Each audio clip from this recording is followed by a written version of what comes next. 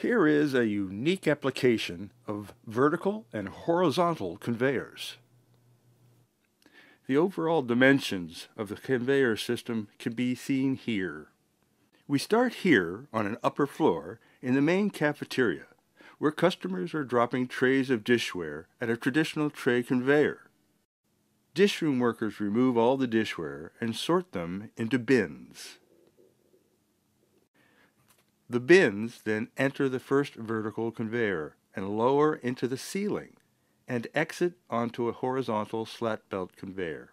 It then snakes its way through the ceiling for about 200 feet. Here it enters into a second vertical conveyor and lowers into the basement dish room, where it exits onto a final horizontal slat belt to a scrapping table where the dishware is transferred to racks and conveyed automatically into a warewasher.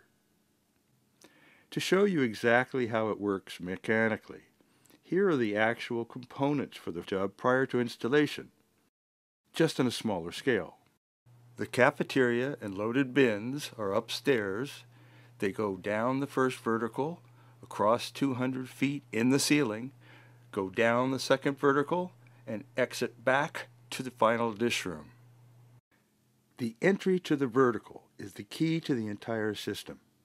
So let's look closely at the starting point, loading bins and entering the first vertical.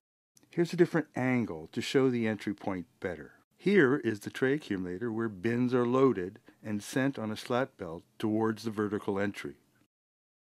Just a few feet before entry, the bin transfers to an indexing conveyor.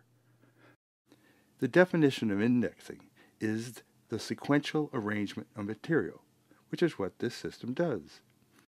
Aerowerks indexing is accomplished with these pusher pins on the belt that controls each bin entry. Then it indexes down and drops the bin on a horizontal slat belt for the 200-foot journey. At the entry to the second vertical is the identical indexing loading conveyor.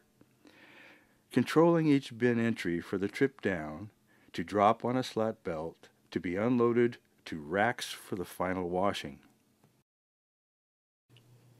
There are strategically placed sensors throughout the system to detect any improper positioning, loading, or unloading.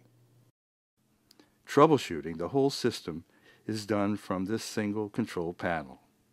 We can also arrange for cameras to be added to the sensors and an internet connection from the control panel to our engineers in Toronto.